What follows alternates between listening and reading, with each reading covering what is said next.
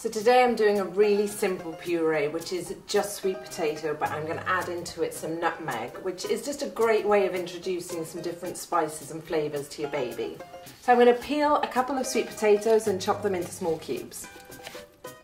While I'm preparing my potatoes, I've got some water boiling. Into the steamer they go. So depending how small you've chopped your sweet potato, these will take roughly five to eight minutes. You just want them to be soft when you pierce them with a knife. So I'm going to use a little bit of the water that I used to steam them to loosen this mixture a bit, but you can also use breast milk or formula. I'm going to give this a whiz.